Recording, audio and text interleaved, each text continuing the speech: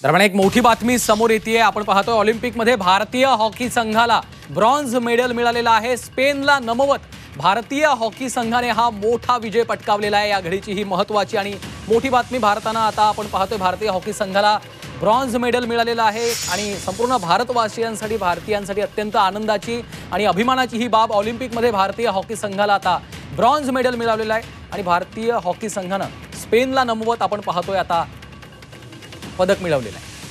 भारताच्या विजयानंतर आता एकच जल्लोष संपूर्ण देशभरामध्ये सुरू झालेल्या ऑलिम्पिकमध्ये भारतीय हॉकी संघाला ब्रॉन्झ मेडल मिळालेलं आहे. या घडीची ही महत्त्वाची बातमी आपण पाहतोय. त्यामुळे आता देशभरामध्ये सेलिब्रेशनला सुरुवात झालेली आहे. भारताच्या या विजयानंतर आता संपूर्ण देशभरात एकच जल्लोष साजरा केला जात आहे. भारतीय हॉकी संघाला ब्रॉन्झ मेडल मिळालेलं आहे आणि स्पेनला नमवून भारतीय हॉकी संघानं ब्रॉन्झ मेडलवर आपलं नाव कोरलेलं आहे. पॅरिस ऑलिम्पिकच्या पुरुष हॉकीमध्ये भारतानं आपण पाहतोय की आता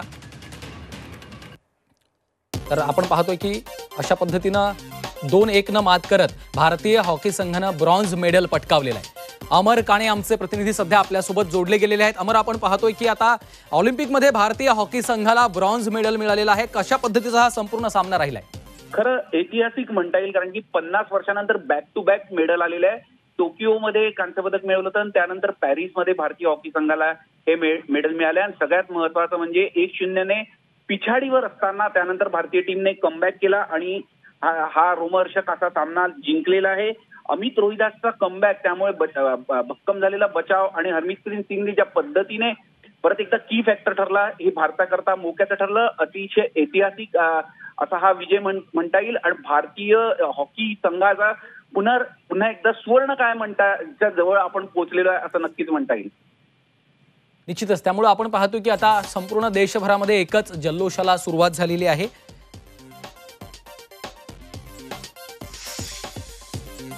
आणि पॅरिसवरून थेट आमच्या प्रतिनिधी रोहिणी गोसावी आपल्यासोबत जोडल्या गेलेल्या आहेत. रोहिणी आपण पाहतोय की आता भारतानं ऑलिम्पिकमध्ये ब्रॉन्झ मेडल पटकावलेलं आहे. भारतीय हॉकी संघाच्या या यशानंतर आता संपूर्ण देशभरामध्ये सेलिब्रेशनला सुरुवात झालेली आहे. काय सध्याच्या भावना आहेत आणि कशा पद्धतीचं वातावरण आहे?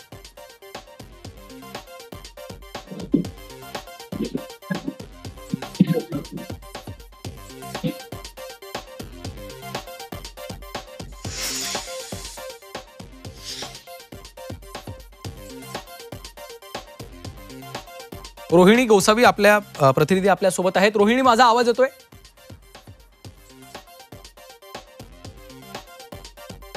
तर आपण पाहतोय भारतीय हॉकी संघानं आता ब्रॉन्झ मेडल पटकावल्यानंतर संपूर्ण देशभरामध्ये एकच जल्लोष साजरा केला जातो आहे. स्पेनला नमवत स्पेनवर दोन एकनं मात करून कॅप्टन हरमनप्रीतचे गोल देखील या संपूर्ण सामन्या दरम्यान पाहायला मिळालेले आहेत. रोहिणी गोसावी आपल्यासोबत आहेत. रोहिणी आपण पाहतोय की आता भारतीय हॉकी संघानं ब्रॉन्झ मेडल पटकावलंय. काय अधिकचे अपडेट्स कशा पद्धतीचा संपूर्ण सामना राहिलाय?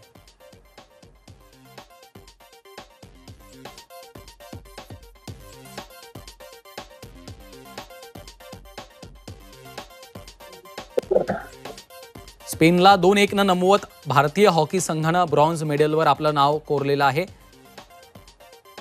ऑलिम्पिकमध्ये भारतीय हॉकी संघाला ब्रॉन्झ मेडल मिळालं आहे क्रीडा समीक्षक रणजित दळवी सर देखील सध्या आपल्यासोबत जोडले गेलेले आहेत.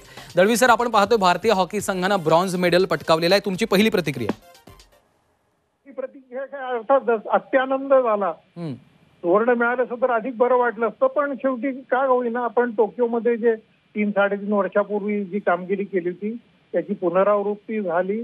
त्याला सातत्य म्हणतो ते तरी आपल्या खेळात दिसलं. आणि अतिशय प्रतिकूल परिस्थितीत आपण हा विजय मिळवलेला आहे.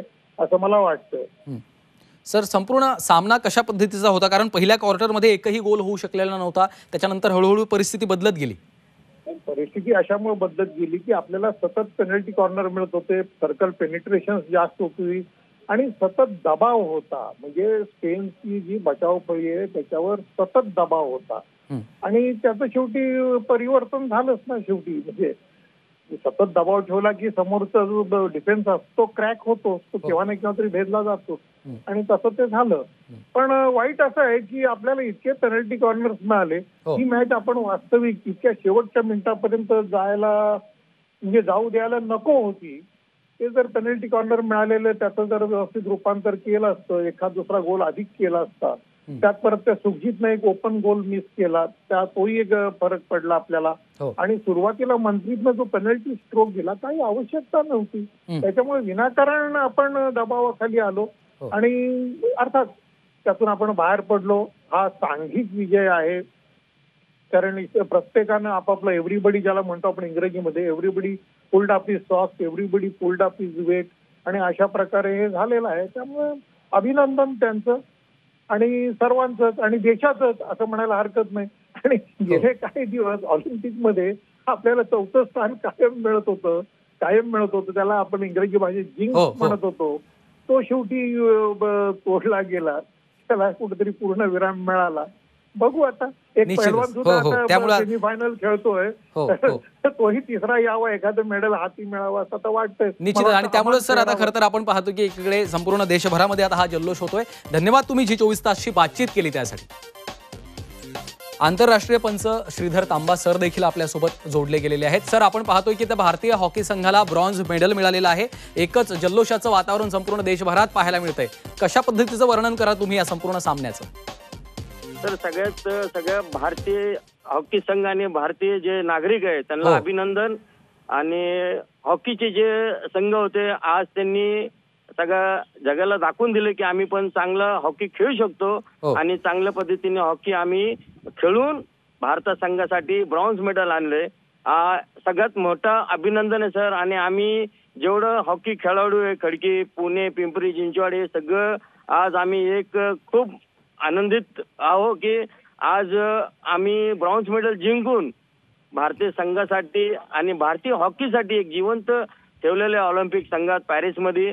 आणि आपली सगळ्याला मनापासून अभिनंदन आहे सर.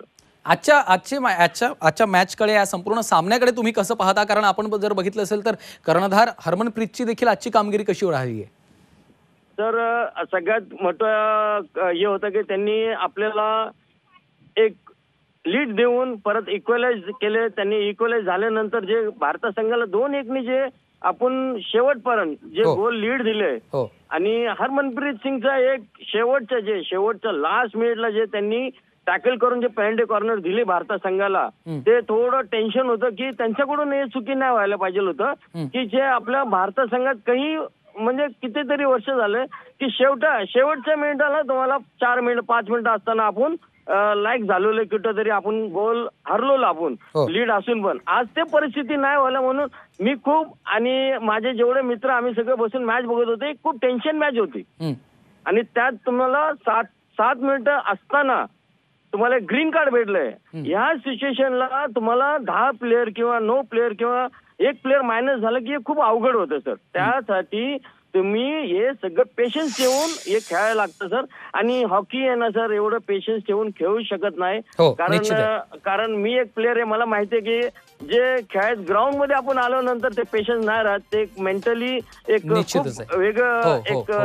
हॉकी असते सर निश्चितच. त्यामुळे आता आपण पाहतोय खरं तर संपूर्ण देशभरामध्ये आता उत्साहाचं आनंदाचं वातावरण आहे. धन्यवाद तुम्ही जी चोवीस तासची बातचीत केली.